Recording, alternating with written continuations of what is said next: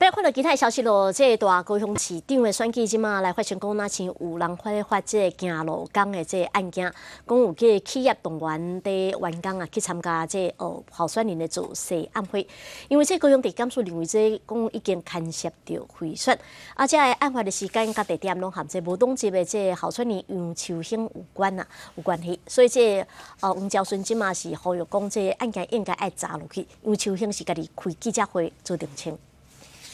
大高雄市长选举查到第一件疑似贿选的案件，高雄县有一间食品工厂动员员工参加某一位候选人竞选总部成立的暗会，部分参加的人承认有收到主管发的五百块，所以互检察官认定涉嫌贿选。因为案发的时间地点拢指向无党籍的候选人杨秀兴，所以吴兆顺认为企业只是替人担罪。我们不希望这只是一个代罪羔羊，我们认为必须要把后面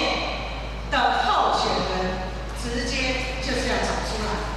请杨秋兴不要躲在幕后。黄委员所指出的走路工事件，跟我杨秋兴跟整个竞选团队完全完全没有关系，我们也绝对不知情。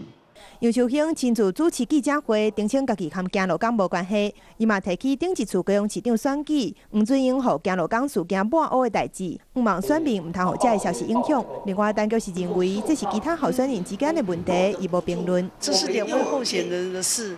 啊，这个跟我我我没有评论，好吗？